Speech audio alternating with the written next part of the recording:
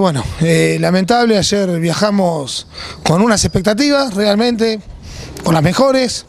A ver, cuando digo las mejores estamos hablando con, con la idea, aunque sea, de poder negociar o de renegociar una decisión que evidentemente y lamentablemente ya está tomada.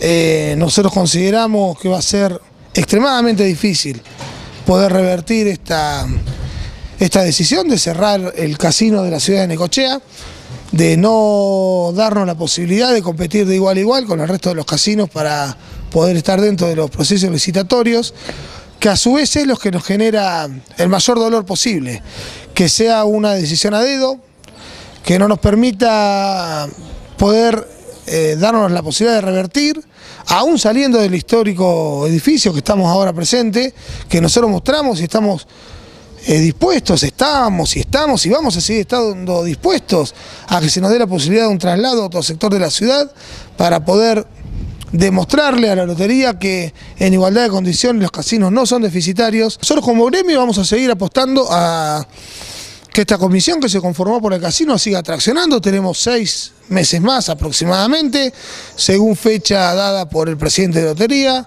Así que vamos a intentar en ese, en ese tiempo eh, armar la mayor cantidad de estrategias posibles que sean en defensa de los compañeros. Nosotros no vemos como posibilidad un traslado a otros estamentos del Estado.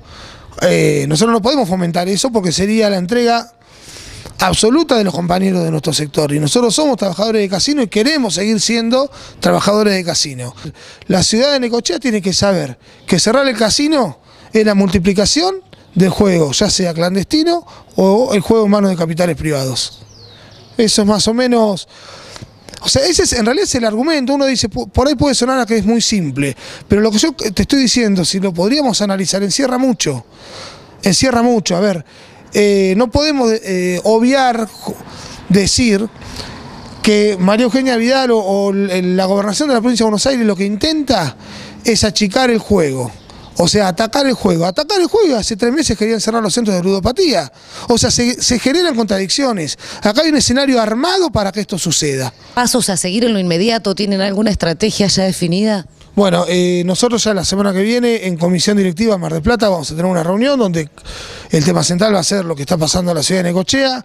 A nivel local, ya mañana vamos a empezar, ya tenemos hablado algo con algunos concejales para darle forma y tracción a esta comisión que se formó, también lo vamos a decir, por pedido de los trabajadores, porque no partió de otro lugar, que no sea de los trabajadores que su única forma de manifestarse es a través del ruido, y lamentablemente después de tener que marchar y pedir la banca 21 y hasta molestar al resto de nuestros conciudadanos, se nos fue otorgada la posibilidad de discutir de igual a igual.